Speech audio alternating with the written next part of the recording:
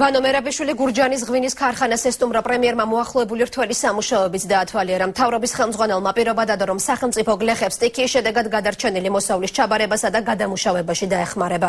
გურჯანის ღვინის ქარხანამ შარშან 11000 ტონა ყურძენი ჩაიბარა. წელს კი 8000 ტონით მეტი ყურძნის ნაკლები ყურძნის ჩაბარება შეძლებს. ქარხანას ღვინის ჩამოსასხმელი ხაზიც აქვს, რომელსაც საათში 6000 ბოთლის წარმოება შეუძლია. ის დავალება რაც მივიღეთ, მიიღეთ ერთი თვის წინ. შეძენილია მასალები.